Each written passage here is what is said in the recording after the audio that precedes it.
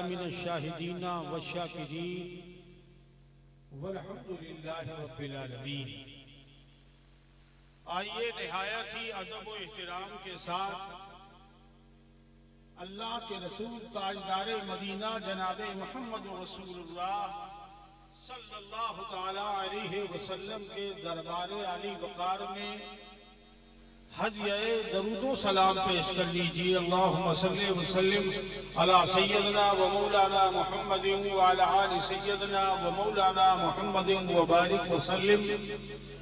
الصلاة والسلام علیکہ یا جد الحسن والحسین رضی اللہ تعالی عنہما۔ حضرات حصول برکت کے لیے ایک مرتبہ اور بارگاہ رسالت اور آل رسالت میں حد آئے درود و سلام اللہم صلی علی سیدنا و مولانا محمد قدر حسنہی و جمالہی جائہی و جلالہی، برہی و نوالہی وعلا وارس کل حالہی تسلیما کثیرا کثیرا۔ الصلاة والسلام علیکہ یا جد الحسن والحسین رضی اللہ تعالی عنہما۔ حضرات حصول برکت کے لیے ایک مرتبہ اور بارگاہ نبوت اور آل نبوت میں حدیہ درود و سلام اللہ رب محمد صلی اللہ علیہ وسلم، نحن عباد محمد صلی اللہ علیہ وسلم۔ الصلاة والسلام علیکہ یا جد الحسن والحسین رضی اللہ تعالی عنہما۔ اسٹیج پر جلوہ افروز پیر طریقت رہبر شریعت، آل رسول، اولاد علی، اولاد امام حسین، عزت ماب علاء الدین صاحب اور ان کے شہزادگان زی وقار۔ اسٹیج پر لائق صد احترام زینت محراب و ممبر علماء اہل سنت والجماعت۔ سامنے جلوہ افروز، عاشقان رسول پاک، عاشقان غوث و خواجہ، عاشقان بزرگان دین، پردہ نشین، عزت ماب خواتین اسلام۔ السلام علیکم ورحمت اللہ تعالی وبرکاتہ۔ حضرات، سلام کرنا سنت ہے۔ جو مسلمان پہلے سلام کرتا ہے، اس کو نبے نیکیاں ملتی ہیں۔ اور سلام کرنا سنت ہے اور سلام کا جواب دینا واجب ہے۔ تو جو سلام پہلے کرتا ہے، اس کو نبے نیکیاں، جو جواب دیتا ہے، اس کو دس نیکیاں۔ میں باواز بلند آپ کو سلام پیش کر رہا ہوں۔ السلام علیکم ورحمت اللہ تعالی وبرکاتہ۔ وعلیکم السلام ورحمت اللہ وبرکاتہ۔ اچھا اب آپ لوگ یہ بتائیے کہ اگر آپ کو صحیح بات بتائی جائے سچی بات بتائی جائے تو آپ لوگ مانیں گے کہ نہیں مانیں گے؟ جو جو مانیں گے وہ ذرا ہاتھ سید صاحب کو دکھا دیں ہم مانیں۔ گے جی۔ تو پہلی بات یہ ہے کہ آپ لوگ ذرا آگے آ جائیں۔ یہ آپ لوگوں نے لائٹیں علماء کے لیے لگا دی، اندھیرے کا فائدہ نہ اٹھا سکے ادھر آ جاؤ بیٹا جگہ بھرو۔ تھوڑا جلدی سے کر لو۔ حضرات، آج آپ حضرات آئے یہ کس کا منار ہے؟ جی؟ کس کا مزار ہے؟ اچھا۔ تو آپ لوگ پٹھا پیر کو مانتے ہیں نا؟ جی۔ بولیے مانتے ہیں تو آج انشاءاللہ ایک آدھ بات ایسی کروں گا کہ اگر آپ نے عمل کر لیا تو دنیا بھی بن جائے گی آخرت بھی بن جائے گی۔ آج پورے ملک کے حالات آپ کے سامنے ہیں۔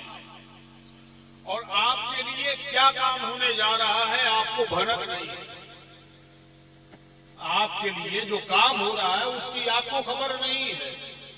ہم غافل بہت ہیں ایسے موقع پر مجھے ہندوستان کے عظیم مقرر جن کو دنیا شیر ہندوستان کہتی تھی مجاہد دورہ حضرت علامہ مولانا مظفر حسین صاحب کچھوچوی رحمت اللہ تعالی علیہ نے آج سے پچیس سال پہلے ہندوستانی حالات کو دیکھ کر ایک نعت پاک لکھی تھی۔ اس کے چند اشعار سنیں گے؟ جی کون کون سنے گا؟ وہاں اٹھا دیں سب۔ سب سنیں گے۔ تو یاد رکھیے دنیا کی کوئی گاڑی بغیر تیل کے نہیں چلتی۔ بولیے چلتی ہم اہل سنت کی گاڑی بغیر درود و سلام کے نہیں چلتی تو ذرا باواد بلند درود پاک پڑھیے تو میں چند شیر آپ کو سنا دوں۔ اللہ رب محمد صلی اللہ علیہ وسلم نحن عباد محمد صلی اللہ علیہ وسلم الصلاۃ والسلام علیک یا جد الحسن والحسین رضی اللہ تعالی عنہما N R C C A C A B یہ سب آپ کے سامنے ہے نا؟ جی، اب اس کو مد نظر رکھیے اور مولانا مظفر حسین صاحب کا چوچوی رحمت اللہ علیہ کے شیر سے۔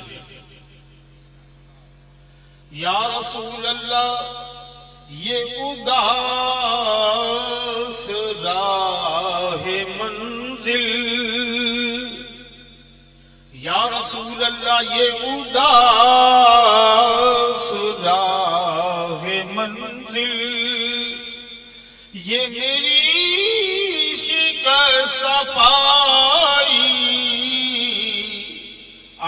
میں تو تھا کہ بیٹھ جاتا۔ یا رسول اللہ میں تو تھا کہ بیٹھ جاتا۔ تیری یاد کام آئی سبحان اللہ میں تو تھا کہ بیٹھ جاتا اور آج اسلام کی شمع کو بجھانے کی پوری کوشش ہو رہی ہے۔ پورے آب و تاب کے ساتھ لگے ہیں کہ اسلام کی شمع بجھا دی جائے۔ یاد رکھیے، اسلام کی شمع بجھنے والی نہیں ہے، بلکہ بجھانے والے خود بجھ جائیں گے۔ کیسی ہے اسلام کی شمع؟ یا رسول اللہ، تیری شم حق نما میں ہے وہ زور رہنمائی یا رسول اللہ، تیری شم حق نما میں ہے وہ زور رہنمائی میرے آقا کے ہزار آندھیوں میں نہ بجھی نہ جھل ملائی کہ ہزار آندھیوں میں نہ بجھی نہ جھل ملائی میں تو تھا کہ بیٹھ جاتا حکومت وقت پوری طاقت کا زور لگا رہی ہے کہ مسلمانوں کو ہندوستان سے باہر کر دیا جائے۔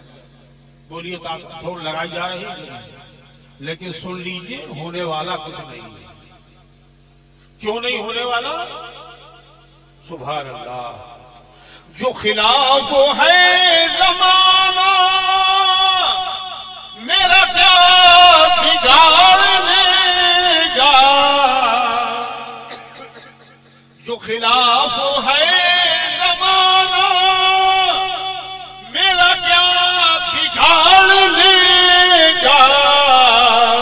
میرے ساتھ ہے محمد۔ سبحان اللہ۔ میرے ساتھ ہے خدائی۔ سبحان اللہ۔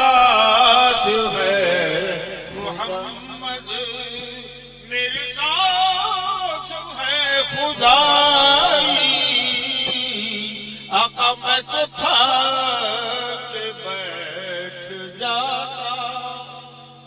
اور ہم سرکار کے گناہ گناہگار امتی ہیں۔ ہم سے غلطیاں ہو جاتی ہیں۔ ہمارے آقا ہمیں راہ راست میں لگا دیا غلطی کرنا ہمارا کام ہے اور ہم بھٹکے ہوئوں کو سیدھے راستے پہ لگانا ہمارے پیارے آقا۔ جی سبحان اللہ۔ شیر یا رسول اللہ میں شکستہ حال رائی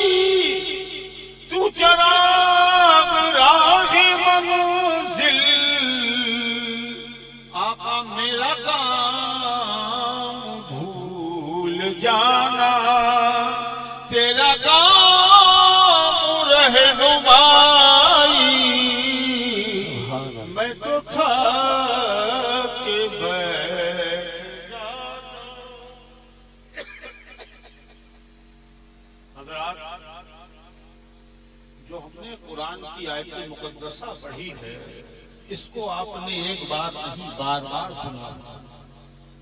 آج اس کا ترجمہ سماعت فرما لیں آپ مجھ سے۔ خبردار۔ انا اولیاء اللہ۔ بے شک اللہ کے دوست لا خوف۔ ان کو ڈر نہیں ہے۔ ولا هم یحزنون اور ان کو رنج و ملال اب اللہ نے اپنے ولی کی دو پہچانیں بتائی۔ جس مسلمان میں دو پہچانیں پائی جائیں گی، وہ اللہ کا ولی ہے۔ پہلی شرط، الذین آمنوا۔ وہ ایمان والا۔ وقانو یتقون اور وہ پرہیزگار ہو۔ حضرات اللہ نے ولی کی دو شرطیں بتائیں بعد میں۔ ولی کی جو شرائط ہیں وہ بتائیں بعد میں۔ ولی کی دو خوبیاں پہلے بیان کی کہ اس کو خوف نہیں ہوگا اور ڈر نہیں۔ خوف ہوتا ہے اس بات کا کہ ابھی آپ راستے پہ جا رہے ہیں، کسی نے بتایا کہ سانپ نکل آیا ہے۔ تو آپ ڈریں گے کہ نہیں؟ ڈر ہوتا ہے آنے والے وقت۔ رنجو ملال ہوتا ہے گزرے ہوئے زمانے ٹھیک ہے؟ اب اللہ فرما رہا ہے کہ اے دنیا والوں سنو! جو میرا ولی ہوتا ہے، میرا دوست ہوتا ہے، وہ آنے والے زمانے سے ڈرتا ہی نہیں۔ اس کے دل خوف ہوتا ہے تو اللہ کا اور حکومتوں کے خوف سے اللہ والے کبھی نہیں گھبرایا آج ہمیں ہندوستان سے نکالنے کی ناپاک سازشیں ہو رہی ہیں۔ اے ہندوستانی مسلمانوں، ہم کو چاہیے کہ ہم بھی اپنے حالات کا سدھار کریں، اپنے حالاتوں کا جائزہ لیں اور ہم نے جو کمیاں ہیں ان کو دور کریں۔ اور یاد رکھو، ہمیں ہندوستان سے حکومت کیا؟ حکومت کا باپ بھی نہیں نکال سکتا۔ کیوں؟ کہ ہم ہندوستان میں رہ رہے ہیں، یہ کسی کے باپ کا احسان نہیں ہے یہ سرکار غریب نواز کا احسان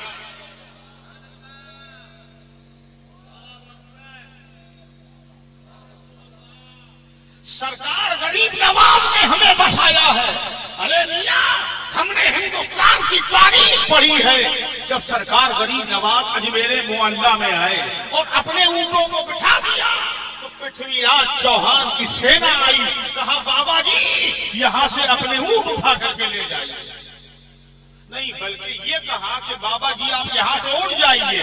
ہمارے اونٹ بیٹھیں گے راجہ کے اونٹ بیٹھیں گے۔ سرکار غریب نے نے فرمایا کہ اے سپاہیوں، یہاں پر مجھے بیٹھا رہنے دو۔ حکومت کے سپاہی تیار نہیں ہوئے، کہا بابا نہیں، یہاں پہ راجا کے اونٹ بیٹھیں گے، میرے غریب نواز کو جلانا دیا، رسول اللہ کے بیٹے کو جلانا دیا، سرکار امام حسین رضی اللہ تعالیٰ عنہ کے بیٹے کو جلانا دیا، اور فرمایا، او پرتھوی راج کی سینا، سن لے، پھر میرے اونٹ تیرے راجا کے اونٹ ہی بیٹھے رات بٹھا دیا، رات بھر بیٹھے رہے۔ رات پوری رات بیٹھے رہے۔ صبح جب فوج نے اپنے اونٹوں کو اٹھانا چاہا تو پنڈت جواہر لال نہرو جو بھارت کے پہلے وزیر اعظم ہیں، ان کی کتاب ڈسکوری آف انڈیا اس میں لکھا ہے کہ پتھوی راج چوہان کی سینا اونٹوں کو اٹھا رہی ہے۔ جیسوں کو جانور کو اٹھایا جاتا ہے، نہیں اٹھ رہے ہیں۔ لاٹیاں ماری جا رہی ہیں۔ نیزے کوچے جا رہے ہیں۔ وہ اٹھنے کو تیار نہیں ہے، آخر مجبور ہو کر کے سرکار غریب نواز کی بارگاہ میں آئے۔ اور کہا، مہاراج، ہم سے غلطی ہو گئی ہے۔ ایک قیاء کے سادر اے رسول اللہ کے شہزادے، آپ کہہ دیں، اونٹ اڑ جائیں تو اڑ جائیں گے۔ ورنہ خواجہ اجمیری یہ اونٹ اٹھنے والے نہیں ہیں۔ اللہ اکبر، میرے خواجہ نے معاف کیا تو اونٹ اڑ گئے۔ ہم جو ہندوستان میں رہ رہے ہیں، وہ سرکار غریب نواز کی بدولت رہ رہے ہیں۔ ہمیں بسانے والا کوئی اور نہیں۔ رسول اللہ کا بیٹا ہے۔ ارے تم چاہے کتنی کوشش کر لو، جس کو غریب نواز بٹھا دے، اس کو کوئی اٹھا نہیں سکتا۔ اور جس کو غریب نواز بسا دے، اس کو کوئی اجار سبحان اللہ۔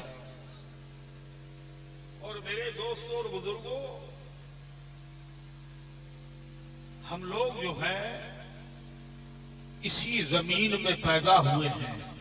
اسی میں زندہ رہیں گے اور اسی میں مر کے چلے جائیں گے۔ بہت سے لوگ پوچھتے ہیں، آپ لوگ کیسے مسلمان ہیں؟ آپ لوگ باہر کے ہیں، یہ ہیں، وہ ہیں۔ آپ اپنے بھارتی ناگرک ہونے کا ثبوت دیں۔ کہا جاتا ہے، ارے میاں، ہم سے بڑا بھارتی کون ہوگا؟ ہم سے بڑا بھارتی کون ہوگا؟ یہ اور جتنے مذاہب کے ماننے والے ہیں، ان سے کہو اچھا دلیل لاؤ کہ تم بھارت کی مٹی سے بنے ہو۔ بھائی، سارے دنیا کی جتنی چیزیں ہیں، وہ مٹی سے بنی ہیں ہمارا آپ کا وجود مٹی سے بنا ہے۔ تو کون سی مٹی سے بنا ہے؟ یہ دنیا کے جتنے مذاہب کے ماننے والے ہیں، کوئی دلیل نہیں دے سکتے۔ لیکن جب مصطفیٰ کے وفادار سے بات کرو گے، جب غوث آدم جیلانی یعنی کی اولاد سے بات کرو گے، جب سرکار غریب نواز کے بیٹوں سے بات کرو گے، جب نائبین مصطفیٰ سے بات کرو گے، تو وہ جواب دیں گے، ہمارا ڈی این اے بھارت کی مٹی سے بنا ہے، ہم بھارت کی مٹی سے پیدا ہے اسی میں پلٹ کے آئیں گے اور یہی سے قیامت کے لیے اٹھائے جائیں گے۔ قرآن کی آیت شاہد ہے، منہا خلقنا کو قرآن نے چودہ سو سال پہلے بھارتی مسلمانوں کے لیے بتا دیا تھا کہ بھارت کا مسلمان بنا کس مٹی سے قبرستان میں ہم جاتے ہیں، میت کو مٹی دیتے ہیں تو کیا کہتے ہیں؟ منہا خلقناکم۔ اللہ نے ہمیں اسی مٹی سے بنایا وفیہا نعیدکم۔ اور ہم لوٹ کے بھارت کی مٹی میں آئیں گے۔ اور پھر جب اللہ چاہے گا قیامت کے دن اسی مٹی سے ہم اٹھائیں گے۔ تو ہمارا تو ثبوت ہے کہ ہم بھارت کی مٹی سے ہمارے قبرستان جا کر کے دیکھو، سینکڑوں سال ہو گئے۔ ہمارے آبا و اجداد اسی مٹی سے پیدا ہوئے۔ اسی مٹی میں مل گئے۔ ہم بھی اسی مٹی سے پیدا ہے اور انشاءاللہ خواجہ کے صدقے میں اسی مٹی میں رہیں گے۔ تو تم بھیا جہاں سے آئے ہو، تم اپنا پہچانو۔ بھارت تو ہمارا نہیں، ہمارے باپ کا ہم کہا جائیں گے؟ اور حقیقت میں میں آپ کو بتاؤں، آپ کو تعجب ہوگا سن کے کہ جو آج ہماری شناخت مانگ رہے ہیں، آج جو ہم سے کہہ رہے ہیں بھارتی ہونے کا ثبوت دو وہ خود بھارتی نہیں۔ جی وہ خود بھارتی نہیں ہے مولانا۔ کیوں؟ قرآن نے فیصلہ کر دیا نا مینہ خلقناکم، ہم اسی مٹی سے پیدا ہوئے ہیں اور اسی میں لوٹیں گے اور اسی سے ہم قیامت کے دن اٹھائے جائیں گے۔ تم بھارت کی مٹی سے نہیں بنے ہوئے۔ آپ کہیں گے ثبوت لو ثبوت لے لو۔ ہندوستان میں مرنے والے کئی طرح کے ہیں۔ کئی طرح کے۔ ایک مرنے والا وہ ہے جو آرام کر رہے ہیں اپنی آرام گاہ میں، جو مکہ نور بنی ہوئی ایک وہ ہے جو قبرستانوں میں ہیں اور ایک وہ ہے جن کو جلایا جا رہا ہے۔ جلایا جا رہا ہے، گنگا میں بہایا جا رہا ہے۔ یہ گنگا جاتی کہاں؟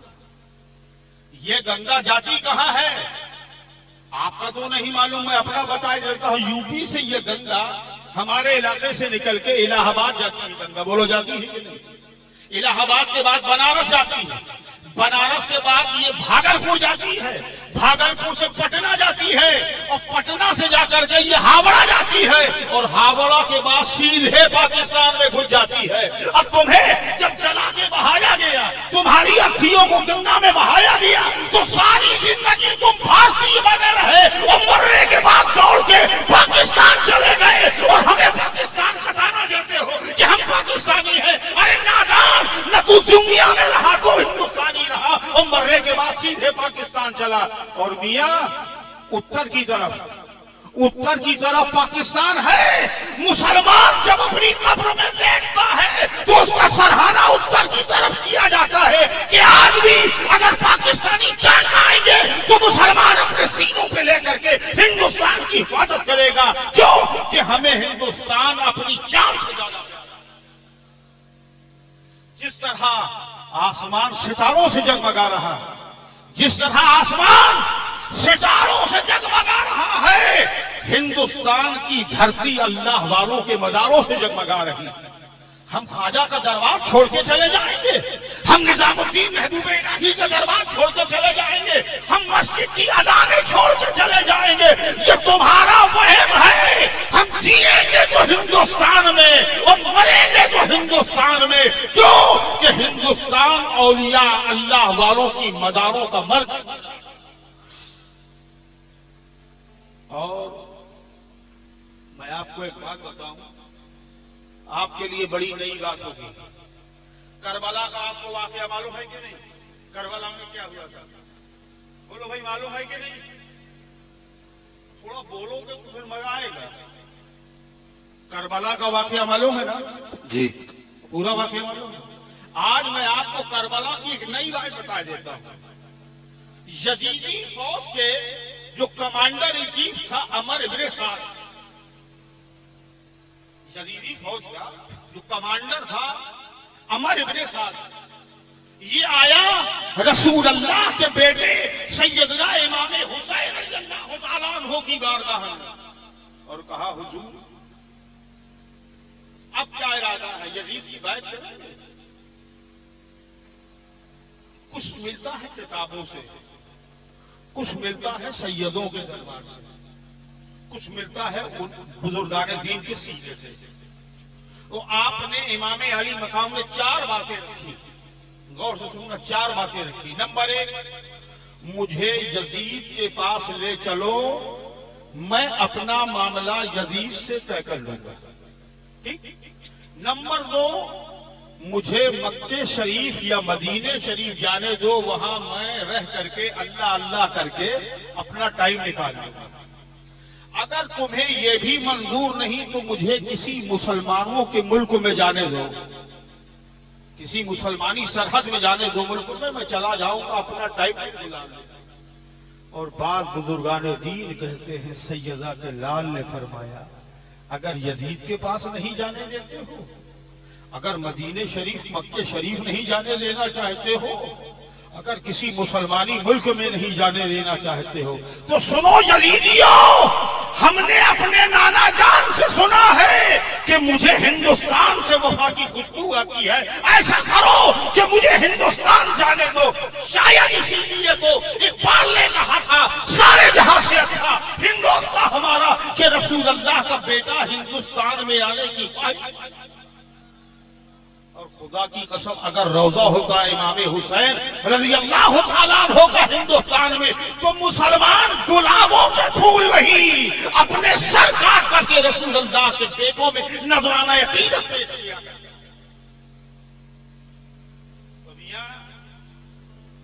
ہم یہی کے ہیں، یہی رہیں گے اور جن کو جانا ہو وہ چلے جائے اور ہمیں اپنے پہ بھروسہ نہیں ہے۔ ہمیں خواجہ غریب نواز پر بھروسہ ہے۔ ہمیں اپنے پہ بھروسہ نہیں، نظام الدین محبوب الہی پہ بھروسہ ہے۔ ہمیں اپنے پہ نہیں، خواجہ خود الدین بختیار کاکی پہ بھروسہ ہے۔ بولو ہے کہ نہیں؟ تو ہم ان کے چھتر چھایا میں رہ رہے ہیں۔ ہمیں کوئی بھگانے والا نہیں ہے۔ اور جو بھگانے والے آئیں گے، انشاءاللہ خود ہی بھاگتے نظر آئیں گے۔ بس ہمیں اور آپ کو اپنے حالات سدھارنا ہے۔ کیوں؟ کہ اب وقت ایسا آ گیا ہے کہ خواب خرگوش میں سونا مناسب نہیں۔ ہے آپ کو ملک سے نکالنے کی باتیں ہو رہی ہیں۔ کیا ہمارا فریضہ نہیں ہے کہ ہم مسجد میں جا کر کے نمازیں پڑھیں؟ اور یہ کیوں آئے ہیں؟ جناب مودی صاحب اور جناب امت شاہ صاحب یہاں کیوں آئے ہیں؟ میں بتا دوں، اللہ کے رسول صلی اللہ علیہ وسلم نے آج سے چودہ سو سال پہلے جب صحابہ نے عرض کیا تھا، یا رسول اللہ علیہ السلام و تسلیم ہم کو کیسے پتا چلے کہ اللہ تعالی ہم سے ناراض ہے یا خوش؟ صحابہ نے سوال کیا یا رسول اللہ، ہمیں کیسے پتا چلے کہ اللہ پاک ہم سے خوش ہے یا ناراض؟ تو مدینے والے آقا نے آج سے چودہ سو چالیس سال پہلے فرمایا تھا، اے میرے صحابہ، اگر تمہارا حاکم نیک ہو اگر تمہارا حاکم نیک ہو، تو سمجھ لینا اللہ تعالیٰ تم سے خوش ہے، اللہ تم سے راضی ہے۔ اور اگر تمہارا حاکم نیک نہ ہو، تو سمجھ لینا اللہ تم سے ناراض ہے۔ تو بولو، اب ہمیں اپنے روٹے ہوئے رب کو منانا چاہیے کہ نہیں؟ بولیے بھائی، آپ تو بولیے، منانا چاہیے کہ نہیں؟ کس سے مناؤ گے؟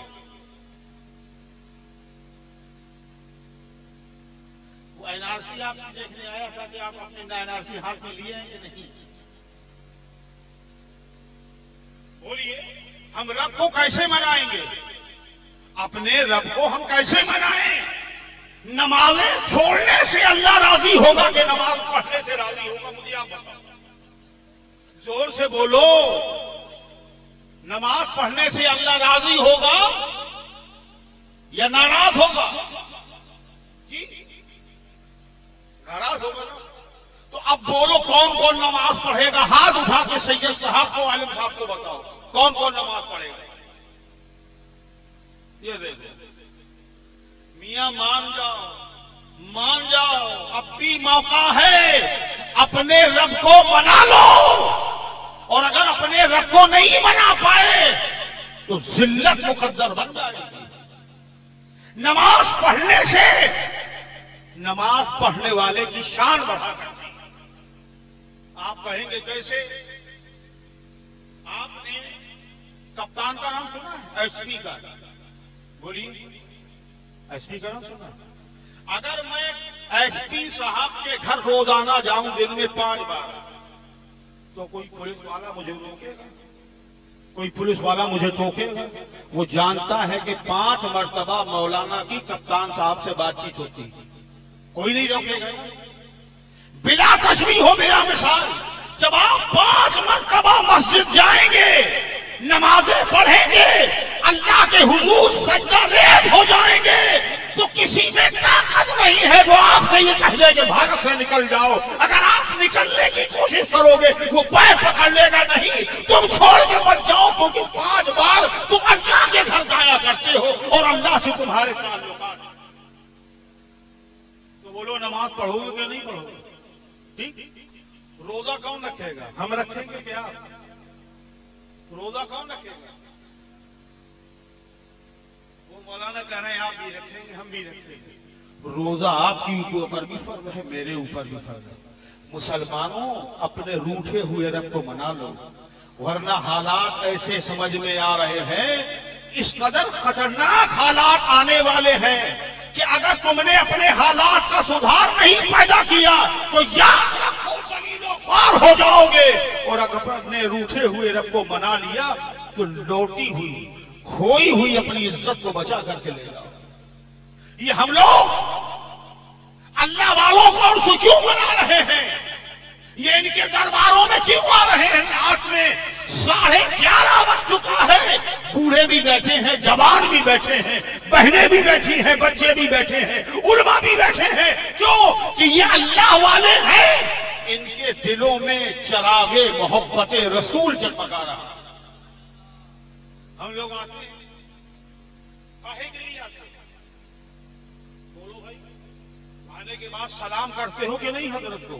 سلام علیکم۔ تو سلام کرنے سے جان پہچان بڑھتی ہے کہ نہیں؟ بولو غلط تو نہیں بول رہا ہوں۔ آپ مثال کے طور پہ جمعرات کو آئے سلام کر گئے جمعرات کو آئے سلام کر گئے اس میں آئے سلام کیا، عید آئی سلام کیا۔ تو سلام کرنے سے جان پہچان بڑھتی ہے کہ نہیں؟ بڑھتی ہے۔ تعلقات اچھے ہو گئے ہیں کہ نہیں؟ جب آپ کی حضرت سے سلام دعا ہے کل قیامت کا دن آئے گا۔ اور یہ اللہ کا ولی جب جنت میں جائے گا، تو آپ کہیں گے، حضرت، میں تو سلام کرنے والا ہوں آپ کو۔ میں تو آپ کے دربار میں جانے والا ہوں۔ تو یہ اللہ کے ولی اللہ سے عرض کریں گے، مولا، میں جنت میں نہیں جاؤں گا۔ رب فرمائے گا، کیوں نہیں جاؤ گے جنت میں؟ کہا، مولا، مجھے نہیں جانا۔ ارے بھائی، کیا بات ہے؟ جنت کی دنیا کا لبکار ہے۔ تم جنت میں کیوں نہیں جا رہے ہو؟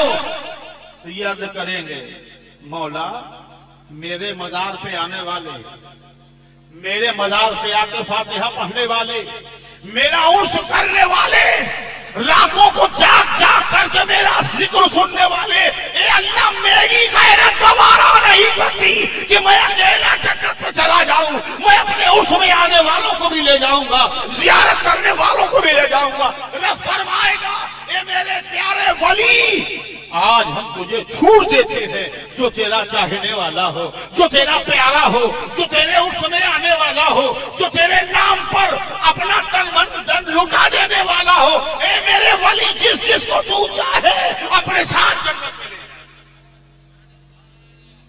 یہ جنت میں فرمالوں کیسے جائیں گے؟ جنت میں اللہ کے ولی کیسے جائیں گے؟ جب اللہ فرمائے گا کہ اے میرے پیارے ولی جا۔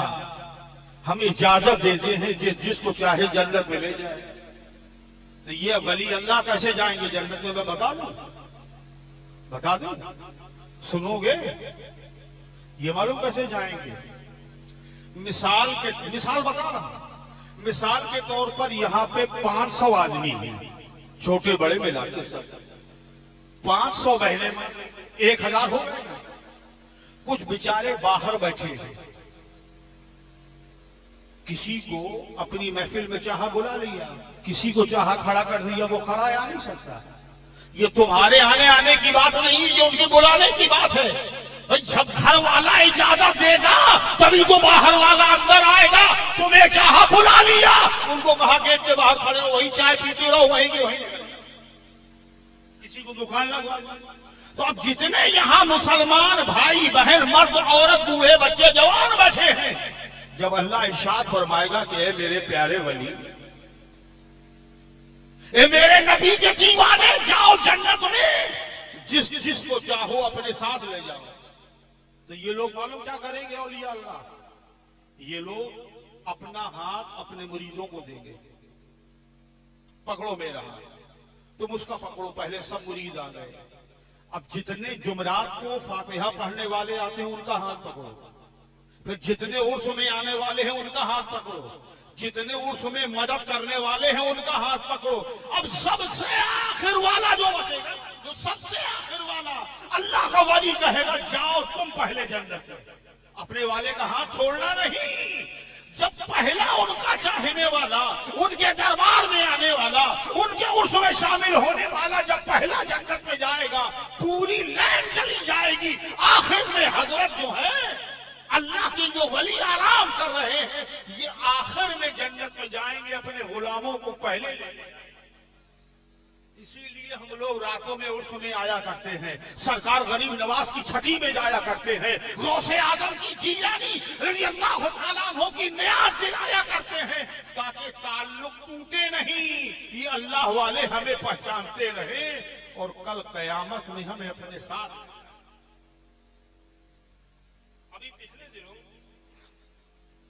پروگرام میں تھے ہم، تو وہاں پہ کتے کی بات آ گئی۔ کس کی بات آ گئی؟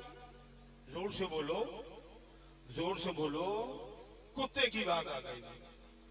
ایک مولانا اعتراض کرنے لگے، حضرت یہ ممبر رسول ہے، آپ نے کتے کی بات کر دی۔ میں نے کہا، میاں، یہ تو ممبر ہے۔ مسجد دیکھی مسجد میں امام صاحب ترابی سناتے ہیں۔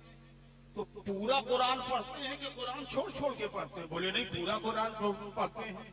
تو ہم نے کہا قرآن میں ایک آیت ہے، حرمت علیکم المیتت و الدم و لحم الخنزیر خنزیر کے معنی آپ کو معلوم ہے کیا؟ سور۔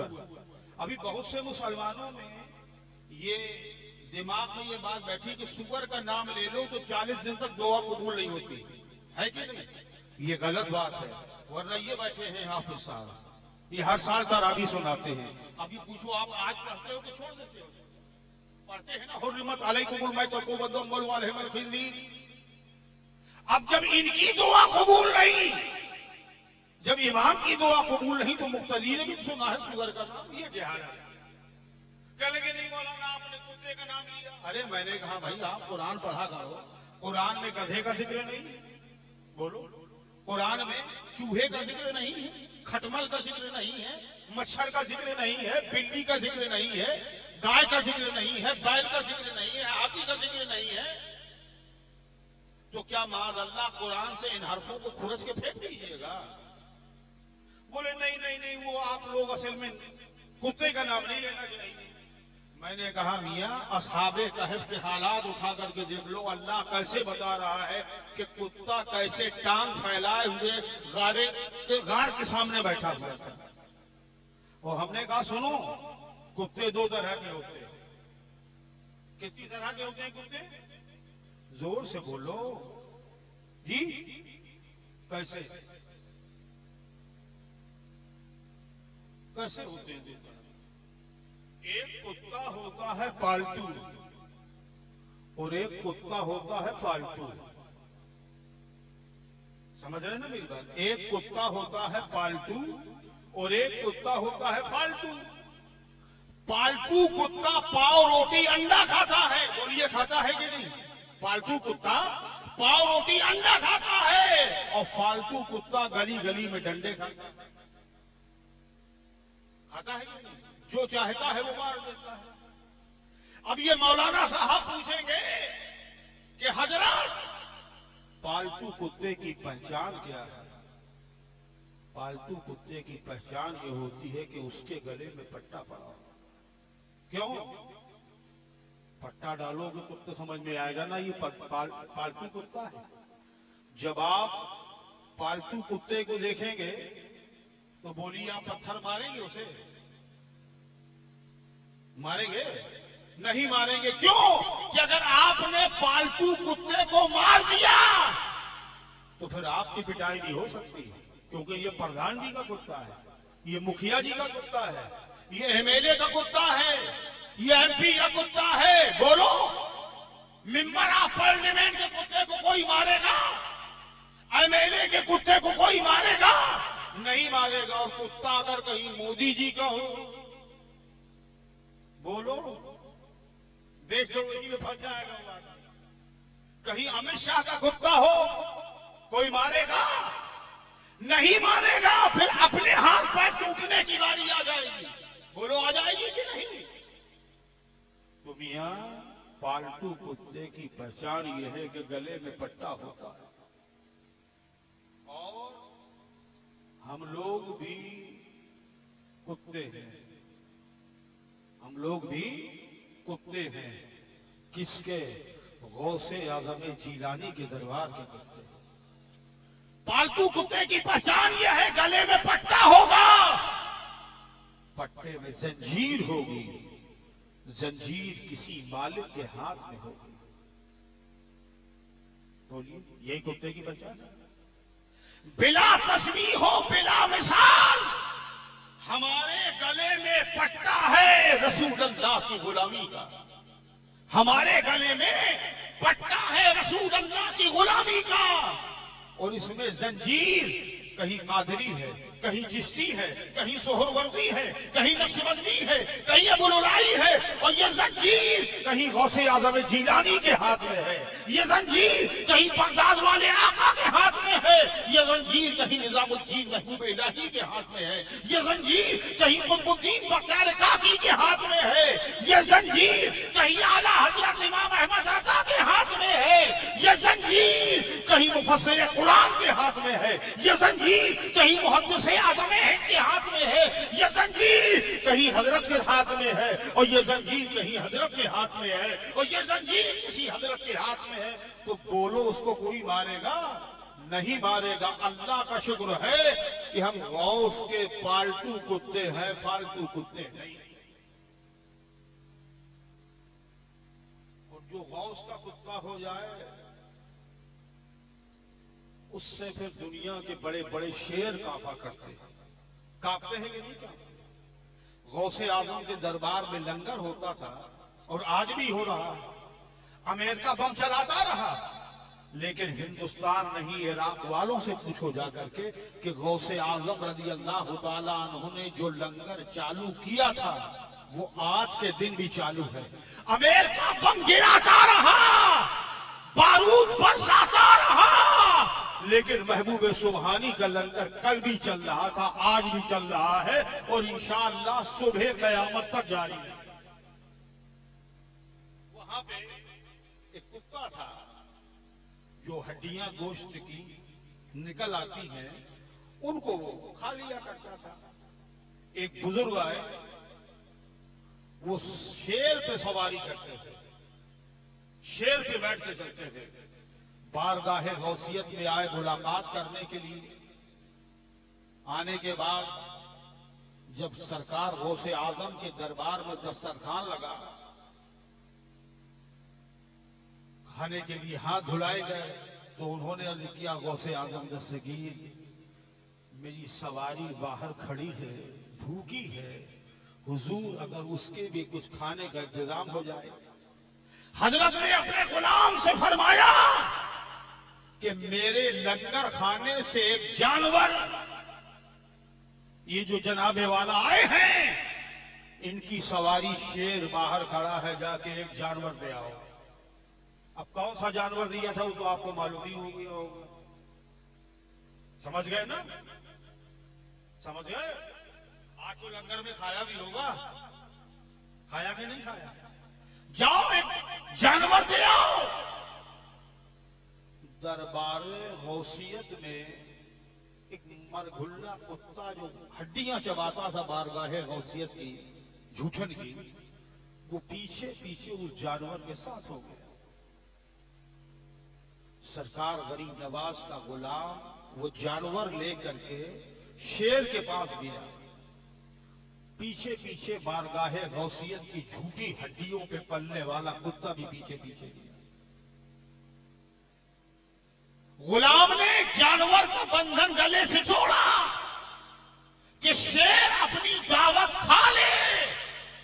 بارگاہ غوثیت میں پلنے والا کتا آگے بڑھا اور لپک کے شیر کے گردن کو، نرکھٹے کو اس نے دبا گلا داب دیا۔ اور شیر کو اٹھا کر کے گلے سے اتنی زور گھسیٹا کہ شیر جو ہے وہ آپے سے باہر ہو گیا اور وہ جانور جو غوث اعظم رضی اللہ تعالیٰ عنہ کی خانقاہ سے بھیجا گیا تھا شیر کے لیے سے، شیر کے منہ سے چھڑا کے بارگاہ غوثیت پہ لا کے کھڑا کر دیا۔ تو بریلی کا تاجدار امام عشق و محبت پکار اٹھے اے میرے غوث کیا دبے جس پہ حمایت کا ہو پنجا تیرا۔ کیا دبے جس پہ حمایت کا ہو پنجا تیرا، شیر کو خطرے میں لاتا نہیں کتا تیرا۔ تو ہم لوگ غوث اعظم کے ماننے والے ہیں۔ یہ اللہ والوں کے ماننے والے ہیں۔ اور خدا کی قسم جب تک ہم ہندوستان میں رہیں گے، نہ ہم غوث اعظم جیلانی کو چھوڑیں گے، نہ سلطان الہند سرکار غریب نواز کو میرے دوستوں اور بزرگوں، لیکن ہم ان کو مانتے تو ہیں، لیکن ان کی باتوں کو بھی ماننا پڑے گا۔ ایسا نہیں کہ لنگر کا کھانا تم کھا لو۔ اور بزرگان دین کے جو آرڈر ہیں، ان کے جو احکامات ہیں، ان پر عمل کون کرے گا؟ آج ہم کہتے ہیں کہ ہم حضرت کے غلام ہیں۔ بولی ہم آپ غلام ہیں کہ نہیں حضرت کے؟ جو جو غلام ہو جائے ہاتھ اٹھا کے بتاؤ غلام ہے آپ بتاؤ کہ حضرت نے کبھی نماز چھوڑی تھی؟ دنیا میں چاہے آگ لگ رہی ہو، طوفان آ رہا ہو، لیکن اللہ کے ولی نے کبھی ایک وقت کی اپنی نماز قضا نہیں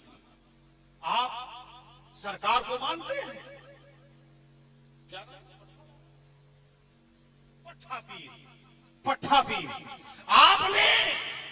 کہ آپ کے جو بزرگ موجود ہو ان سے پوچھو، یا آپ کی تاریخ پڑھو کہ حضرت پتھا صاحب رحمت اللہ تعالیٰ علیہ نے پتھا پیر نے ایک روزہ نہیں چھوڑا تو پتھا پیر کو مانتے ہو تو رمضان المبارک کا ایک روزہ نہیں چھوڑنا پڑے۔ آپ پٹھا پیر کو مانتے ہیں کہ نہیں؟ بولو بھائی، جو مانتا ہو وہی ہاتھ اٹھانا، جو نہیں مانتا ہو وہ نہیں کرتا ہاتھ نیچے کرو۔ آپ مجھے ثابت کر دو کہ حضرت پٹھا پیر رحمت اللہ تعالی علیہ نے کبھی داڑھی کٹائی بتا دو۔ بولو۔ تو آپ کون ہو؟ آپ بولتے ہو ہم پٹھا پیر وہ مانتے ہیں۔ پٹھے پیر نے کبھی رسول اللہ کی سنتوں کو نالی میں نہیں بہایا؟ تم بہا رہے ہو۔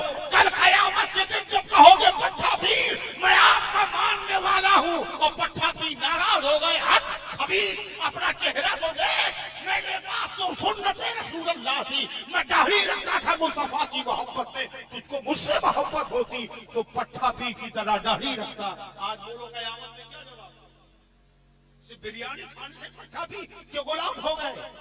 جلسے میں بیٹھ گئے تو پٹھا پیر کے غلام ہو گئے۔ ارے پٹھا پیر نے کبھی تحجد نہیں چھوڑی ہے۔ ان کا حال یہ ہے، پٹھا پیر کا۔ جس جگہ نماز پڑھ دے، جس جگہ نماز پڑھ لی حضرت پٹھا پیر نے، بولو وہاں مسجدیں بنی ہیں کہ نہیں بنی بولو، بنی ہیں کہ نہیں بنی ہیں؟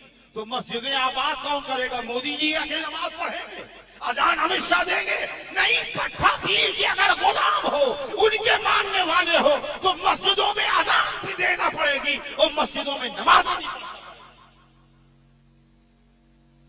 آپ کہتے ہو، ہم چاہنے والے ہیں۔ جی ہاں ہم اللہ والوں سے محبت کرتے بھی کرتے تھے، آج بھی کرتے ہیں اور صبح قیامت تک کرتے رہیں گے۔ لیکن محبت ایسی نہیں ہو، بلکہ محبت یہ ہو کہ جو تمہیں دیکھ لے، وہ پکار اٹھے کہ مالیہ کا مسلمان پٹھا پیر کا غلام ہے، پٹھا پیر داڑھی رکھتے تھے۔ ہم بھی جاہی رکھے ہیں، پٹھا پیر بابا نماز پڑھتے تھے، ہم بھی نماز پڑھ رہے ہیں۔ بھائیو، اگر یہ ہو تو پٹھا پھول کے ماننے والے ہو، ورنہ بریانی تم نے کیا؟ نمارم کتنے لوگ کھا گئے ہو، کھاتے چلے جائے گے۔ اللہ تعالی ہمیں اولیاء کرام کی سچی وفاداری عطا فرمائے۔ اب بولو، کل سے نماز کون کون نہیں پڑھے گا؟ ہاں اٹھائے کہ حضرت ہم نماز نہیں پڑھے گا دیکھیے مولانا، یہ سب پڑھیں گے نماز۔ اچھا کون کون نماز پڑھے گا؟ وہ ہاتھ اٹھا دے کہ میں نماز پڑھ گا دیکھا۔ اب جو آدمی پہلے ہاتھ اٹھائے کہ نماز پڑھوں گا، اور اس کے بعد ہاں اٹھا لے۔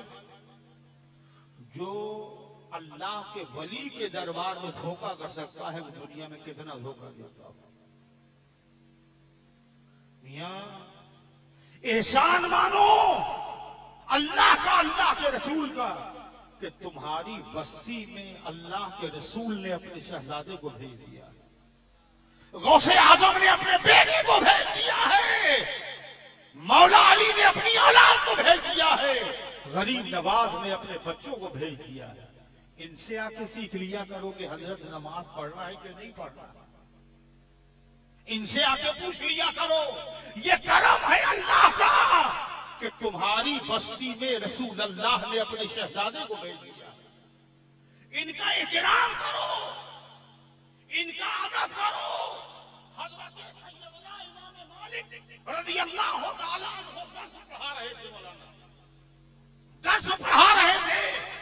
شک پر ایک تین سال کا بیٹا، ایک تین سال کا بچہ چھت میں گیم کھیل رہا تھا۔ اور جب اس کی گیند چھت پہ آ جاتی تو وہ دوڑتا ہوا اس چھت سے اس چھت پہ آ جاتا امام مالک کی نظر جب بچے پہ پڑتی کہ بچہ آل رسول کا چھت پہ دوڑ رہا ہے تو آپ درس چھوڑ کے بچوں کو علم دین جو پڑھا رہے تھے علم مصطفیٰ، وہ چھوڑ کر کے کھڑے ہو جاتے۔ آپ سترہ مرتبہ کھڑے ہوئے ہیں۔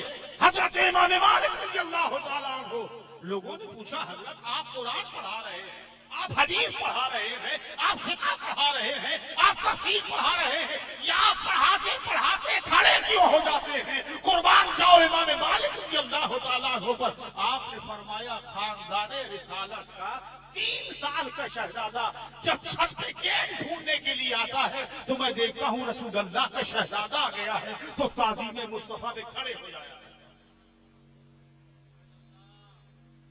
آپ سادات کی کیا عزت کرتے ہیں؟ اور یاد رکھو، اگر آپ کو رسول اللہ کی اولاد سے محبت رہی ہے، تو آپ کا ایمان کامل ہے۔ آل رسول سے محبت کرنا واجب ہے واجب ہے واجب ہے۔ حضرت امام شافعی فرماتے ہیں کہ سیدوں کی اتنی تو تعظیم کرو جتنے تم اپنے شہر کے حاکم میں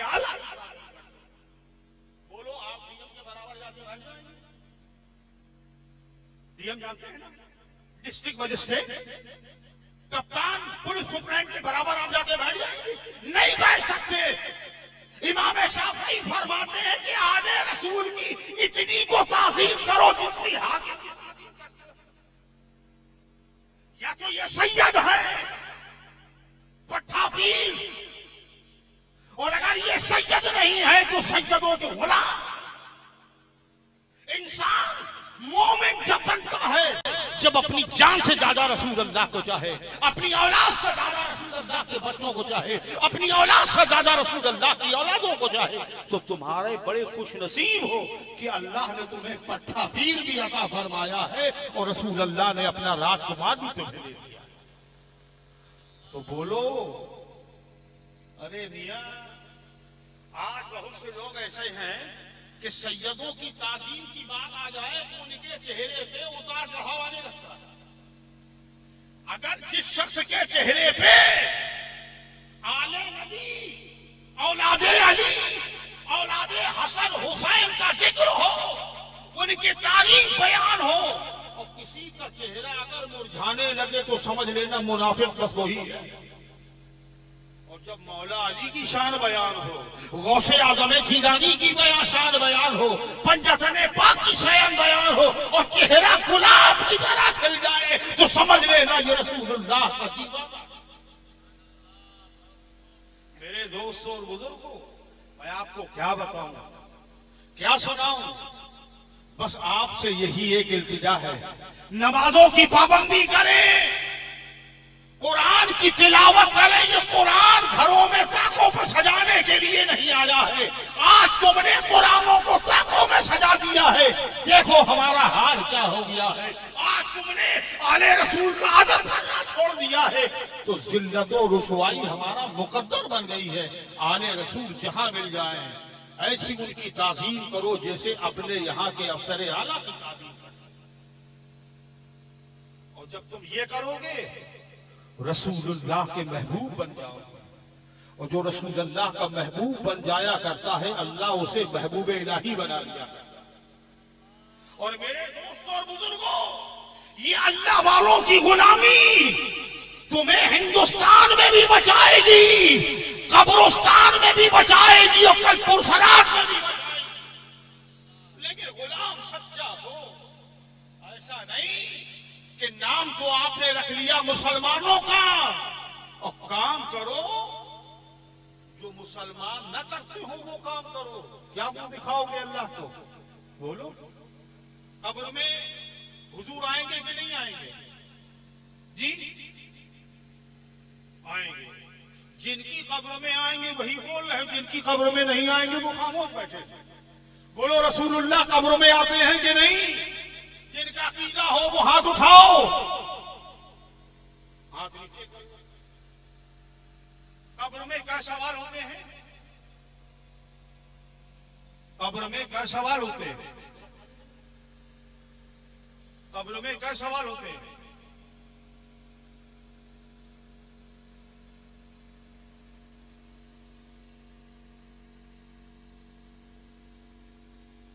ارے بھائی، قبر میں کیا سوال ہوتے ہیں؟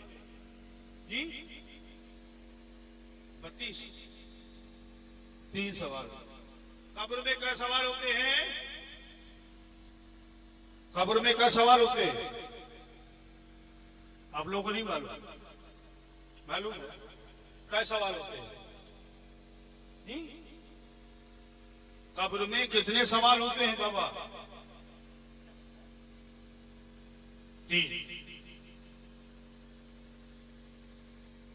قبر میں تین سوال نہیں ہوتے ہیں، قبر میں ایک سوال ہوتا ہے۔ آپ کہیں گے، سید صاحب، یہ کہاں سے مولانا بلا لیا آپ نے اب تک تو تین تین سنتے تھے، یہ بتا رہے ہیں، ایک سوال ہوتا ہے۔ جی قبر میں سوال ایک ہی ہوتا ہے۔ بس مرنے والے الگ الگ کوالٹی کے ہیں، اس لیے تین سوال ہوتے ہیں۔ یہ مولانا بیٹھے ہیں حضرات ذرا سر اٹھائیے، لوگوں کو دکھائیے اپنا چہرہ۔ دیکھا آپ نے؟ یہ سب علماء ہے یہ سب علماء ہے ہمارے سروں کے تاج ہیں۔ زینت محراب و منبر ہے امام بخاری کی بخاری شریف یہاں مل جائے گی۔ آپ پوری بخاری پڑھ لو، قرآن کے بعد دنیا میں سب سے معتبر کتاب امام بخاری کی بخاری کی اس میں اگر آپ یہ دکھا دو کہ قبر میں تین سوال ہوں گے، تو میں لمبی چوڑی بات نہیں کرتا ہوں، آپ کا منہ میٹھا کرا چھ ہزار حدیثیں ہیں بخاری شریف میں۔ بس ایک ہی سوال ہوگا قبر میں۔ امام ابو داؤد رضی اللہ تعالی عنہ نے لکھا ہے کہ تین سوال۔ ٹھیک؟ تو اب یہ کیسے پتا چلے کہ ایک ہوگا کہ دین ہوں گے۔ میں آپ کے ذہن کو الجھاوے میں نہیں ڈالنا چاہتا ہوں۔ مرنے والے کئی طرح کے ہوتے ہیں کہ نہیں؟ بولی ہوتے ہیں نمبر ایک، مرنے والا۔ سب کو مرنا ہے۔ ہندوستانی ہو یا پاکستانی ہو، افغانی ہو یا چینی ہو، مرنا سب کو ہے۔ جب مرنے والا تین سو پینسٹھ خداؤں کو پوج رہا ہو اور ہمارے ہندوستان میں چھپن کروڑ دیوی دیوتا ہے۔ کتنے؟ چھپن کروڑ دیوی دیوتا ہے۔ ان سے کیا سوال ہوگا؟ من ربوں کا تو کہیں گے، مہاراج، بتاؤ گڑے جی کی بات کرے کہ گائے ماتا کی بات کرے کہ کتے بھگوان کی بات کرے کہ لکشمی کی بات کرے، چھپن کروڑ دیوی دیوتا تو یہ تو پہلے ہی نمبر پہ چلے گئے۔ ختم ہو گیا ان کا کام۔ اس کے بعد آئے یہودی اور عیسائی۔ ان سے پوچھا گیا، من ربوں کا انہوں نے جواب دیا، ربی اللہ، میرا رب اللہ ایک سوال میں کام اب دوسرا سوال ہوگا، ماں دینوں کا، تمہارا دین کیا ہے؟ جینے عیسوی مانتے ہو کہ دین موسوی مانتے ہو۔ کہ دین محمدی مانتے ہو۔ اب کہا دین عیسوی مانتے ہیں چلو ان کو بھی نکالو باہر۔ اب بچے مسلمان بولی میں نے انسانوں کی ترتیب صحیح لگا اب بچے مسلمان تو مسلمان میں ایک ہے ڈالڈا اور ایک ہے دیسی۔ ڈالڈا جانتے ہیں نا ڈالڈا کی ایک بھینس کا پیور بھی ہوتا ہے، اسے اصلی ہی بولتے ہیں۔ اور ایک ہوتا ہے ڈالڈا، جو ہوتا ہے نقلی۔ تو پہلے کو کہہ دیا، مودی جی کی باری آئی منبوں کا انہوں کا صاحب ہم کیا بتائیں ہیں، چھپن کروڑ والے، ان کا چلو، لے انہیں بھی۔ آئیسہ عیسیٰ موسوی، تمہارا کیا ہے؟ بولے ربی اللہ، دین کیا ہے؟ بولے عیسوی موسم یہ بھی آ گئے باہر۔ اب بچا مسلمان! تو ان سے پوچھا، من ربو کا تو بولے، ربی اللہ ما دینو کا تمہارا دین کیا ہے؟ تو ڈالڈا والے نے کہہ دیا، دینی الاسلام میرا دین اسلام دو میں پھنس گیا دو میں کامیاب ہو گیا۔ اور یاد رکھو، مغفرت کا دار و مدار۔ مغفرت کا دار و مدار دو سوالوں میں نہیں ہے کامیابی پر، تیسرا سوال جو ہے، اس کی کامیابی پر آدمی کے لیے آخرت اس کی بہتر ہوگی وہ آخرت تباہ ہو برباد۔ تیسرا سوال کیا ہے؟ ما کنتا تقولو فی شان آگا حق رجل تم اس کالی زلفوں والے آقا کے بارے میں کیا کہتے تھے؟ یہ بتاؤ۔ تیسرا سوال یہ ہے کہ تم مدینے والے آقا کے بارے میں کیا کہتے تھے؟ اب کیا کہتے تھے؟ سلام پڑھنا حرام ہے۔ نماز میں نبی کا خیال آ جائے تو نماز نہیں ہوتی ہے، یہی بولا تھا آج لے ان کی پناہ، آج مدد مانگ ان سے۔ کل نہ مانیں گے، قیامت میں اگر مان گیا تو جو مومن ہوگا۔ جو اللہ والا ہوگا، جو عاشق رسول ہوگا، اس سے بس ایک ہی سوال ہوگا، کیا کہتا تھا؟ مصطفیٰ جان رحمت کے بارے میں وہ بتا دے، جنت تیری منتظر کھڑی ہے کہ اے رسول اللہ کے وفادار آ جا، ہم تیرے لیے سجے سوے تیار اور بہت سے لوگ کہتے ہیں اچھا مردہ سنتا ہے کہ نہیں سنتا ہے؟ بولو ارے بھائی، بتاؤ مردہ سنتا ہے کہ نہیں سنتا ہے؟ سنتا ہے۔ آپ سنے ہیں مردے کی بولی؟ نہیں سنے۔ ہیں لیکن بول رہے سنتا، مردہ سنتا ہے کہ نہیں؟ مردہ بات چیت کرتا ہے کہ نہیں؟ اچھا کبھی آپ کا مردہ بات چیت کیا ہے کہ بیٹا ذرا پانی پلا دو؟ گئے ہو کسی کی میت پہ۔ دیکھنے کے لیے چلو، محلے والے کا انتقال ہو گیا۔ چلو بھائی، آ کر کے تعزیت کرے آئے۔ تو مردے نے کہا، بھائی صاحب، ذرا ایک گلاس پانی پلا دینا، بہت بہت پیاس لگی کبھی دیکھے ہو؟ نہیں دیکھے ہو نا؟ مردہ نہیں بولتا۔ مردہ نہیں سنتا، یہی کہا جاتا ہے نا۔ اچھا اور اگر مردہ سنتا ہے، تو مردے سے کہنا، بھیا، ذرا پانی پلا دو۔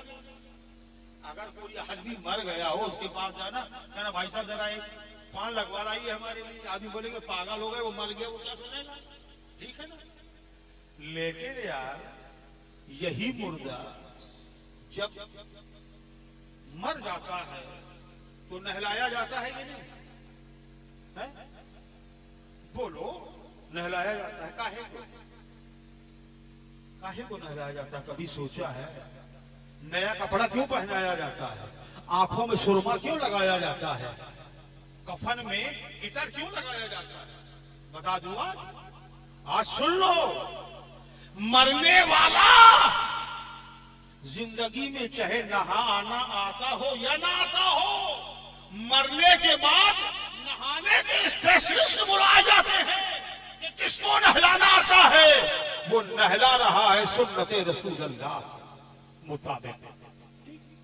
اس کے بعد ساری زندگی پینٹ پہنتا رہا، ٹائی لگاتا رہا، ہینڈ لگاتا رہا۔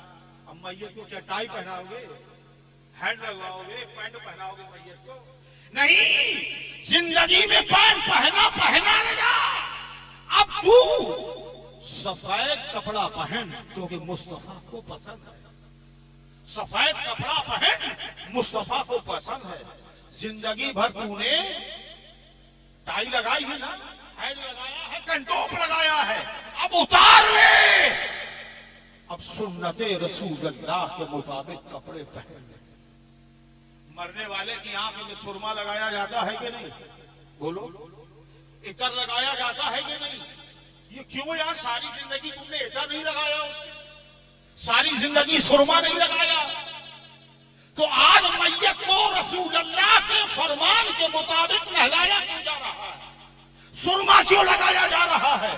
سفید کپڑا کیوں پہنایا جا رہا ہے؟ کیوں کیا آپ گلابی بھی پہن سکتے ہو؟ آپ پہن سکتے ہو، ہرا بھی پہن سکتے ہو، بولو رنگین کپڑا پہنتے ہو کہ نہیں؟ لیکن میت کو سفید پہنایا جا رہا ہے۔ اے نہلانے والوں آج سنت کے مطابق نہلانا کیوں؟ اس کی پیشی رسول اللہ کے دربار میں ہونے والی اس کو سنت کے مطابق نہلاؤ۔ اس کو کفن سنت کے مطابق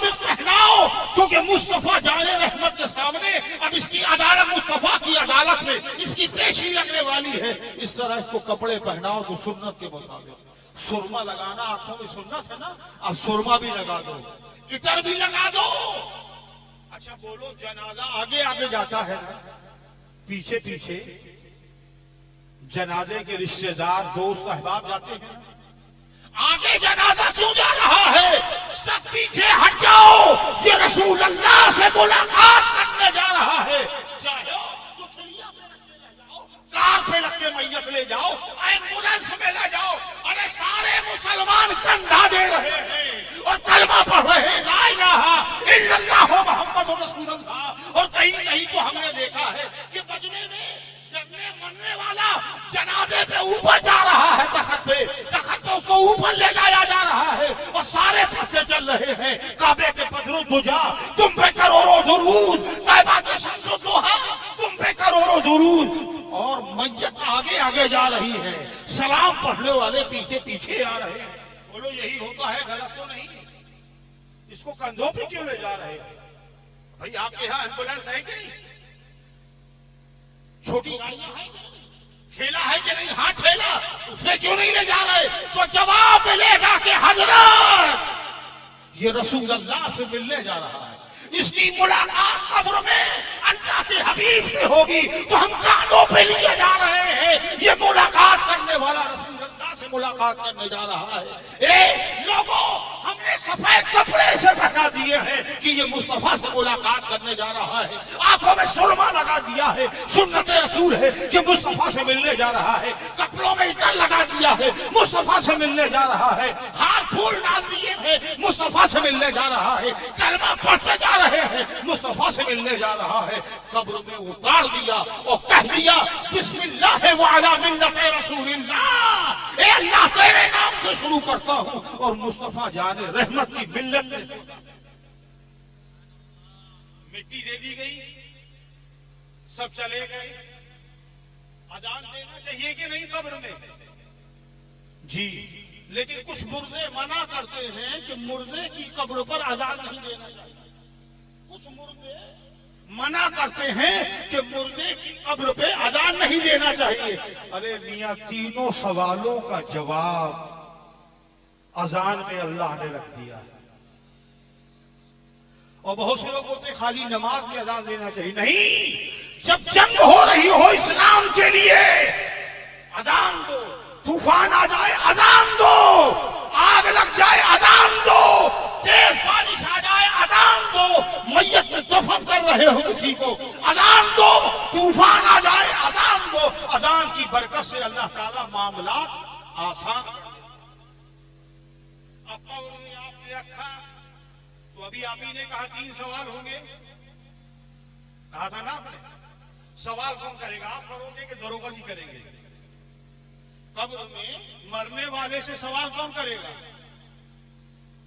کون کرے گا؟ جی۔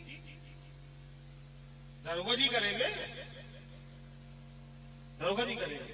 کون سے تھانے کے ہوں گے یہ دروگا جی؟ اب یہ اب قبر میں تین سوال ہوں گے نا؟ اللہ تعالی ہم سب کو تینوں سوالوں میں کامیابی عطا فرمائے۔ زور سے بولو۔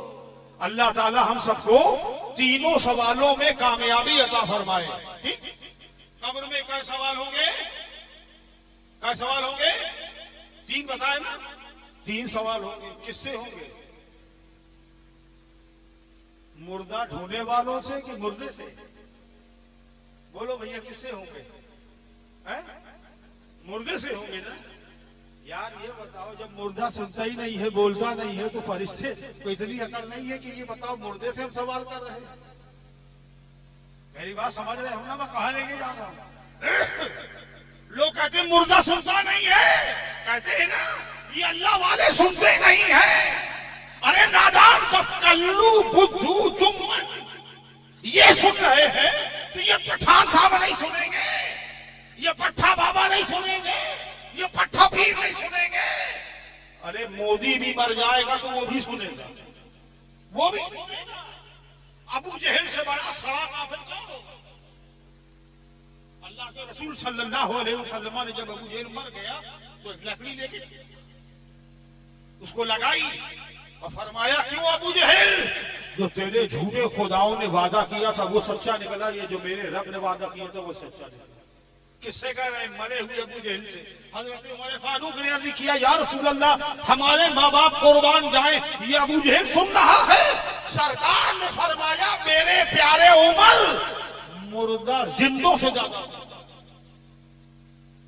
جب ابو جہل مسلمانوں سے زیادہ سنتا ہے، تو بتائیے، پٹھا پیر کا حال کیا ہوگا؟ غریب نواز کا حال کیا ہوگا؟ نظام الدین محبوب الہی کا حال کیا ہوگا؟ تو ہم مرنے ہی والے سے سوال ہوتے ہیں۔ یا بھی ہم مر گیا تو سوال کا ہے؟ اچھا بولتا ہے کہ نہیں بولتا؟ ہے بولے، نہیں بولتا، کوئی نہیں بولتا، سنتا بھی نہیں ہے۔ تو بے وقوف پھر تیرے قبر میں کون آتا ہے؟ یمراد آتا ہے کہ شیطان آتا ہے۔ بول۔ اللہ کے رسول فرماتے ہیں، جب مرنے والا مر جاتا ہے، تو اس کی قبر میں کون آتا ہے؟ منکر نکیر آتی ہے سوال کرتے ہیں۔ تو جب بھیا مردہ سنتا ہی نہیں ہے، بولتا نہیں ہے، تو یہ کہے کو سوال ہو رہے ہیں؟ پتا چلا کہ مردہ سنتا بھی ہے اور بولتا بھی ہے، لیکن مردے نہیں سن پاتے ان کی آواز۔ مردے نہیں سن پاتے۔ اچھا ہم آپ سلام پڑھتے ہیں کہ نہیں؟ نماز میں ہم سلام پڑھتے ہیں۔ عید میلاد النبی کے جلسے میں ہم سلام پڑھتے ہیں۔ غوث آزم کے جلسے میں ہم سلام پڑھتے ہیں، کربلا والوں کے جلسے میں ہم سلام پڑھتے ہیں، غریب نواز کے جلسے میں ہم سلام پڑھتے ہیں۔ ارے، ہمارا باپ مر جائے تو ہم چالیسویں میں سلام پڑھتے ہیں۔ پٹھا تین کے دروازے پہ آتے ہیں تو سلام کرتے ہیں۔ جب جاتے ہیں تو سلام کرتے ہیں۔ کیوں؟ کہ قبر میں کامیابی اگر ملے گی تو مصطفیٰ سے وفاداری پہ ملے گی کامیابی اچھا ایک بات اور بتاؤ کہ اگر کوئی قبر میں تینوں سوالوں میں کامیاب ہو جائے تو کیا ملے گا اس کو؟ جی قبر میں اللہ کرے ہم سب جتنے لوگ یہاں بیٹھے ہیں تینوں سوالوں میں کامیابی مل جائے تو کیا ہوگا؟ جہنم کی کھڑکی کھول دی جائے گی۔ کہے گی؟ بولو۔ بولو بولو۔ جب تینوں سوالوں میں کرنے والا کامیاب ہو جائے گا۔ تو جہنم کی کھڑکی فرشتے کھول دیں گے اور کہیں گے، مرنے والے تھے تیرا ٹھکانہ یہ تھا۔ تیرا ٹھکانہ یہ تھا۔ رسول اللہ کی وفاداری کام آ گئی۔ آل رسول کی وفاداری کام آ گئی۔ علماء اہل سنت کی غلامی کام آ گئی۔ پٹھا پیر کی غلامی کام آ گئی۔ کہ تیرے لیے اب یہ جہنم کی کھڑکی بند کی جاتی ہے اور جنت کی کھڑکی کھول دی اور مرنے والا جب تینوں سوالوں میں فیل ہوتا ہے تو جنت کی کھڑکی کھول دی جاتی ہے۔ اور مرنے والے سے کہا جاتا دیکھ، یہ تیرا ٹھکانہ تھا۔ دیکھ، یہ تیرا ٹھکانہ تھا۔ تو نے مصطفیٰ پیارے سے غداری کری، اولیاء اکرام سے غداری کری، شہیدان کربلا سے غداری کری، کربلا والوں سے غداری کری، اجمیر والے خوادہ سے غداری کری، بغداد والے غوث اعظم جیرانی سے غداری کری پتھا پیر سے غداری کری، آل رسول سے غداری کری، علماء اہل سنت سے غداری کری۔ دے جنت کی کھڑکی بند کی جاتی ہے اور تیرے لیے جہنم کا دروازہ کھول دیا۔ بس اب آخری جملے سنیے۔ بارہ بج کے بیس منٹ ہو گئے۔ تیس کر لوں کیا؟ جی؟ کر لیا قبر میں حضور آئیں گے کہ نہیں آئیں گے؟ پہلے تو یہ بتاؤ۔ جی؟ ہاں تم نے جواب صحیح دی دیکھیے، جو لوگ یہ کہتے ہیں کہ حضور قبر میں آتے ہیں، وہ میری دو باتیں سن حضور صلی اللہ تعالی علیہ وسلم پر لازم نہیں ہے۔ حضور پہ لازم نہیں ہے کہ ہر وہ مرنے والے کی قبر پر جائیں یہ مصطفیٰ پیارے کی مرضی ہے چاہے جس کی قبر میں جائیں یا چاہے نہ جائیں۔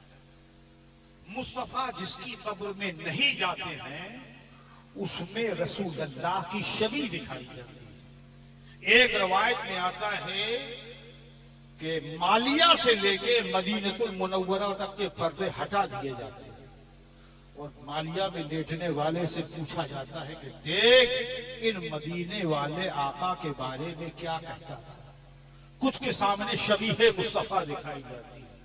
اور جو مصطفیٰ کے خاص دیوانے ہیں، جو مصطفیٰ پہ رات دن و سلام پڑھتے ہیں جو سنت رسول اللہ کو کٹوا کے نالیوں میں نہیں پھیکتے اپنے سینوں پہ، اپنے چہروں پہ سجا لیا کرتے ہیں، جو نمازیں بھی پڑھتے ہیں، روزہ بھی رکھتے ہیں اور مصطفیٰ مصطفیٰ کرتے رہتے ہیں اور یہی کہتے رہتے ہیں کہ کعبے کے بدر دجا تم پہ کروڑو درود، طیبہ کے شمس الدہا تم پہ کروڑو درود۔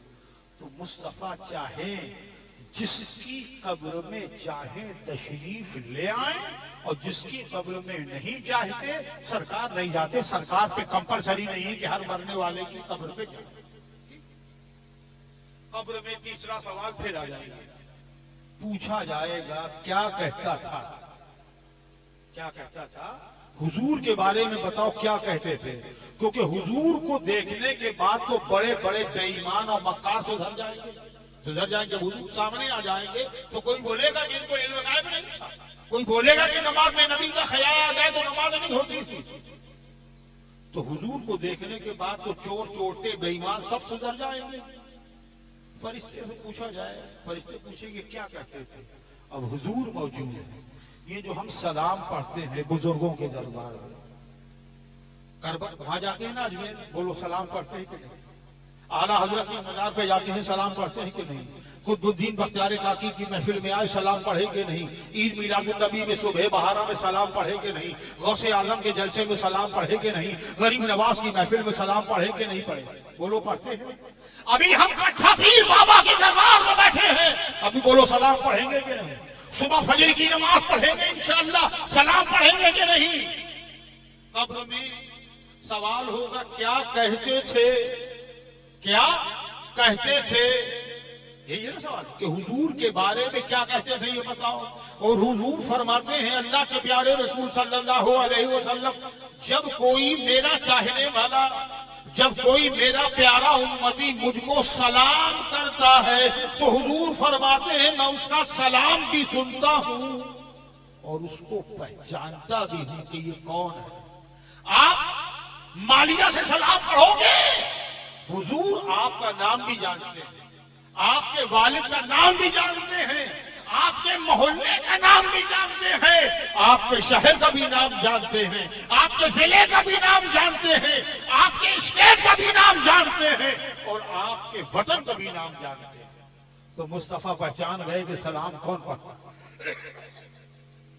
اب جب آپ قبر میں گئے، فرشتوں نے پوچھا، کیا کہتے تھے؟ تو ہو سکتا ہے۔ ہو سکتا ہے کہ حضور فرمائیں اے منکر نکیر، تو میرے امتی سے پوچھ رہا ہے۔ میرے امتی سے پوچھ رہا ہے کہ میں کون ہوں؟ ارے منکر نکیر، مجھ سے پوچھ لیا ہوتا کہ یہ میرا کون ہے مجھ سے پوچھ لیا ہوتا یہ میرا کون ہے۔ فجر میں یہ سلام پڑھتا تھا، جمعے میں یہ سلام پڑھتا تھا، میری پیدائش کے ٹائم یہ سلام پڑھتا تھا۔ میرے بیٹے کربلا والوں کا ذکر ہوتا تھا، یہ سلام پڑھتا تھا۔ میرے روحانی بیٹے عبد القادر جیلانی کی محفل ہوتی تھی، یہ سلام پڑھتا تھا۔ یہ آل رسول کو دیکھتا تھا تو ان کے پیر چومتا تھا، ان کے ہاتھ چومتا تھا۔ محبت رسول اللہ میں، محبت اہل بیت میں۔ تو بولو سرکار نے اگر کلیجے سے لگا لیا کہ فرشتوں، اس سے نہ پوچھو، بلکہ مجھ سے پوچھ لو کہ یہ میرا کام بس چار منٹ اور رہ گئے۔ چار منٹ میں داڑھی والوں کے لیے بات ہو جائے۔ قبر میں حضور آئیں گے، جس پہ چاہے گرم فرما دیں۔ یہ جو لوگ اپنی داڑیاں کٹا کٹا کے نالی میں پھینک دیا کرتے ہیں اب قبر میں حضور آئے۔ فرشتوں نے پوچھا، کیا کہتے تھے؟ آپ نے کہا، یہ تو ہمارے آقا ہے یہ تو ہمارے مولا ہیں۔ اور سرکار فرماتے ہیں، میرے غلاموں، میرے پیاروں، میرے چاہنے والوں، تمہارے پیغمبر کا دشمن داڑیاں کٹاتا ہے، تم داڑیاں بڑھا حضور کا دشمن؟ داڑھی داڑھی کون کٹاتا ہے؟ بولو۔ حضور کا دشمن۔ بولو۔ زور سے بولو۔ داڑھی کون کٹاتا ہے؟ حضور کا دشمن۔ جو حضور کا دوست ہوگا وہ داڑھی نہیں کٹائے داڑھی نہیں اب قبر میں تم گئے سب جائیں گے کوئی نہیں بچے گا۔ فرشتے نے پوچھا آقا کے بارے میں کیا کہتے تھے؟ تم نے کہا یہ ہمارے آقا ہیں ہمارے حضور ہیں ہمارے مولا ہیں۔ حضور نے فرمایا ہٹ۔ اپنا چہرہ دیکھ، میرے دشمنوں جیسے بنایا؟ تیرے نبی کا دشمن داڑیاں کٹاتا تھا۔ حضور نے فرمایا، تم داڑیاں بڑھاؤ۔ اب تم نے اگر داڑھی کٹا لی، موت کا وقت کسی کو نہیں معلوم ہے۔ اللہ کو معلوم ہے یا رسول اللہ کو معلوم ہے۔ اب قبر میں اگر تم لٹال دیے گئے، حضور نے سے سوال کیا گیا حضور کے متعلق تم نے کہا، یہ ہمارے آقا ہے سرکار اگر ناراض ہو گئے تو بیوی بچائے گی۔ بچے بچائیں گے؟ پیسہ بچائے گا۔ تو میرے دوست اور بزرگوں، توبہ کر لو۔ توبہ کر لو۔ یہ حضرت پٹھا شاہ رحمت اللہ تعالیٰ پٹھا پیر کے دربار میں کہ آج سے ہم داڑیاں نہیں کٹائیں گے۔ اور اگر ابھی رات میں تمہارا انتقال ہو جائے، تو قبر میں جب جاؤ گے تو داڑی والوں کا شمار ہوگا۔ تمہارا چہرہ داڑھی والوں میں لکھا جائے گا۔ تو پتھا پیر سے اگر محبت ہے، تو نمازیں بھی پڑھو، روزے بھی رکھو اور ڈاڑیاں بھی رکھو۔ اللہ ہم سب کو بزرگان دین کی سچی محبت عطا فرمائے۔ یا اللہ، ہم سے جو غلطیاں ہو گئی ہیں، مولا ہم معافی مانگتے ہیں، مولا ہم سب کو معاف فرما دے۔ اور مولا ہندوستان پر جو مصیبتوں کے پہاڑ آ رہے ہیں جو مسلمانوں پر پہاڑ آ رہے ہیں مصیبتوں کے، اللہ تیرا پیارا بنی ہم نے سنا ہے کہ یہاں پٹھا پیر نماز ایک بار پڑھ لے، وہاں پہ بولو مسجدیں بنی ہیں کہ نہیں بنی بولو، بنی ہے کہ نہیں بنی بنی ہے تو پٹھا پیر جہاں سجدہ کر دے، اللہ وہاں پہ مسجدیں بنوا دیا کرتا ہے۔ اے اللہ! ہم تیرے ولی پٹھا پیر کا باستہ دے رہے ہیں۔ اے اللہ، مسلمانوں کی جان و مال، عزت و آبرو کی حفاظت فرما۔ اور ہم سب کو پروردگار عالم ہم سے جو غلطیاں ہو چکی ہیں، مولا ہمیں معاف کر دے اور ہم سے وہ کام لے لے جس سے تو خوش ہو جا۔ اب کھڑے ہو گئے نبی اور آل نبی کے دربار میں ہم یہ ضرور